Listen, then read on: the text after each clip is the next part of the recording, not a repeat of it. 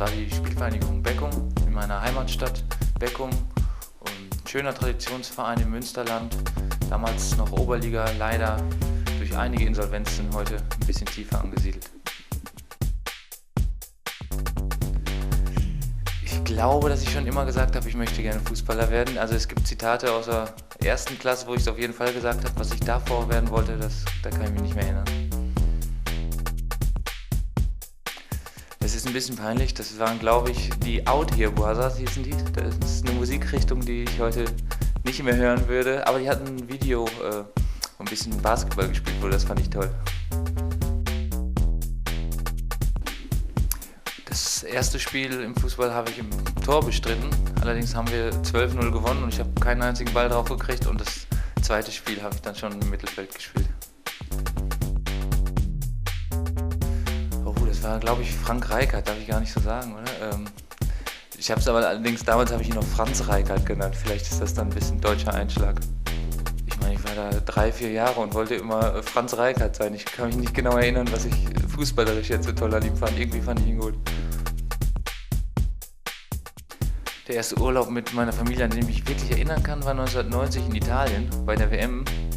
Da habe ich immer versucht, die Spiele noch mitzukriegen, aber bin meistens dabei eingeschlafen. Da kann ich mich sehr gut daran erinnern. Da habe ich auch angefangen, begeistert Fußball zu spielen und habe meinen großen Bruder und meinen Vater damit ein bisschen genervt. Und der erste Urlaub alleine war mit ein paar Freunden in Holland. Und das war wirklich damals eine schöne Sache. Mit 15, glaube ich, ein bisschen Freiheit genießen, das war sehr schön.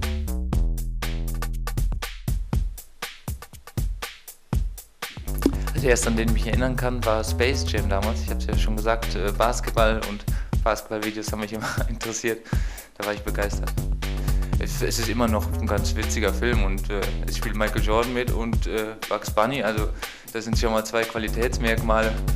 Und ja, ob man aus heutiger Sicht noch ins Kino gehen würde, weiß ich jetzt nicht. Das war mit LR Aalen damals in der zweiten Liga gegen Unterhaching.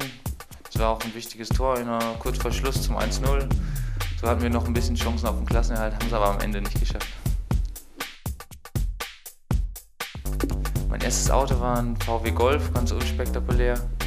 Den habe ich günstig von meinen Eltern noch gekauft und bin auch, glaube ich, zwei Jahre gefahren. War immer zuverlässig, aber nicht mehr und nicht weniger. Mein erster Stadionbesuch war auf jeden Fall im Westfalenstadion in Dortmund. Da war ich früher auch oft und gerne als Dortmund-Fan. Ähm, Wann er genau war, kann ich nicht sagen, aber es war relativ früh mit meinem Vater. Durch Michael Zorg, damals Kapitän, äh, Knut Reinhardt, Günter Butowski, die Generation. Oh, mein erstes Konzert, das war spät. Äh, das war irgendwann Grönemeyer, äh, die Mensch-Tour. Ich bin auch kein großer Konzertgänger, deswegen war das relativ spät. Es war das Auftaktkonzert und das wird keiner glauben, das war aber in Aalen im Stadion.